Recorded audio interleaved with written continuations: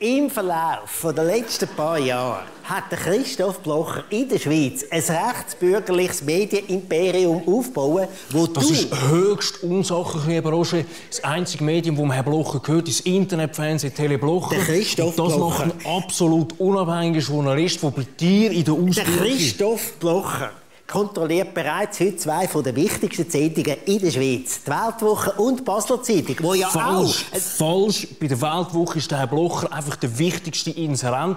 Inhaltlich aber hat er gar nichts zu Das sagen. einzige, wirklich zu 100% unabhängige Medium in der Schweiz ist mein Radio 1. Habe ich erfunden. Ganz im Gegenteil. Radio 1 ist total abhängig. Und zwar von dir. Das ist richtig. Aber ich finde mich gut. Da bist du aber auch der Einzige. Im Gegensatz zu dir probiert der Herr Blocher die Basler Zeitung auf eine wirtschaftlich gesunde Basis zu stellen und leistet damit einen wichtigen Beitrag, einen nachhaltigen für die Medienvielfalt. Who cares? Ich baue meine Medienlandschaft selber auf. Nach Radio 1, Fernseh 1, Zeitung 1 und Internet 1. Dann bin ich überall Nummer 1. Gute Idee, da kommt der SRG endlich Konkurrenz über. Ich sprenge das Monopol von der SRG. I can get it if I really want. Schluss mit diesen Zwangsgebühren. Die haben echt keine Ahnung von Fernsehen machen. Du, Roger, Ja, Roger? das ist das Schlimmste, was du je gemacht hast.